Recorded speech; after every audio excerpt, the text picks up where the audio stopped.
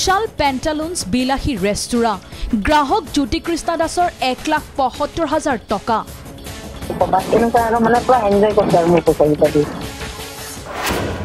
কেনেকৈ ফাণ্ডত পৰিল miss four twenty ইফতিছান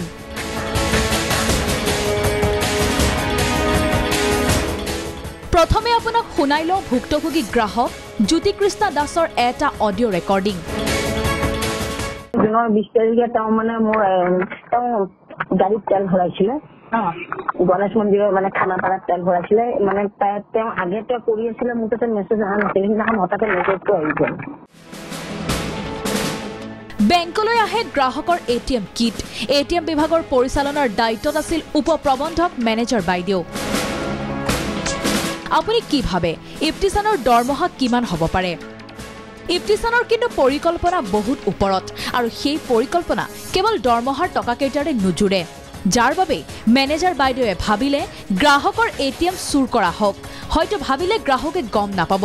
কিন্তু কেনেকৈ ফাণ্ডত পৰিল ইফতিছান? শুনক ভুক্তভোগী জ্যোতিকৃষ্ণ দাসৰ মুখেৰেই। কোনে ভৰালে মইতো ভৰোৱা নাই। পিছত কি কয় মিষ্টাৰৰ লগত কথা পাতি পেলাই বেংকত যাওঁতে বেংকে ক'লে বোলে মই এইটো কোনোবাই প্লেন কৰিছে।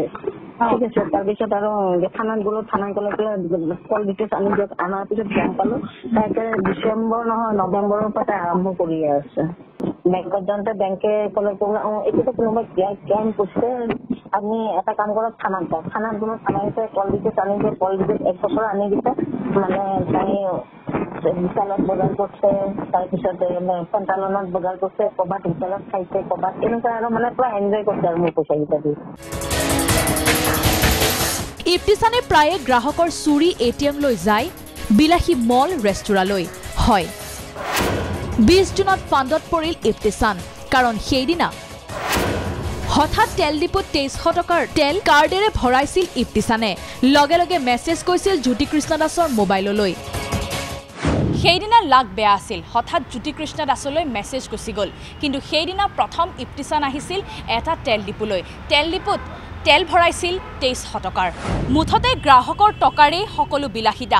তাৰ পাছত আহিল এইখন পেণ্টালুন্সলৈ আৰু তাৰপিছত আহিল বিলাসী ৰেষ্টুৰেণ্টলৈ। আৰু এনেকৈ প্ৰত্যেক দিনাই বিলাসিতা জীৱন উদযাপন কৰি জ্যোতিকৃষ্ণ দাসৰ প্ৰায় এক লাখ পঁয়ষষ্ঠি হাজাৰ টকা খৰচ কৰিলে এইগৰাকী মিছ ফ'ৰ টুৱেণ্টিয়ে বেংকত যাওঁতে বেংকে ক'লে কোনোবাই ক্লেইম কৰিছে আপুনি এটা কাম কৰক থানাত যাওক থানাত গ'লো থানাতে কল আনি দিয়ে কল ডিটেইলছ এক বছৰ আনি দিছে মানে তাই বিশালত বজাৰ কৰিছে তাৰপিছত পঞ্চালনত বজাৰ কৰিছে ক'ৰবাত হোটেলত খাইছে ক'ৰবাত এনেকুৱা আৰু মানে পুৰা এনজয় কৰিছে আৰু মোৰ পইচাকেইটা দি।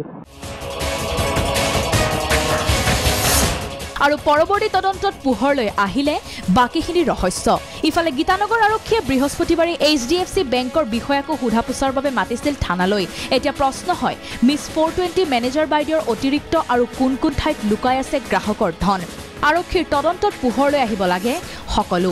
কেমেৰা পাৰ্চন আইনুল হকৰ সহযোগত গুৱাহাটীৰ পৰা জুলি বেজবৰুৱাৰ report D Y three six five.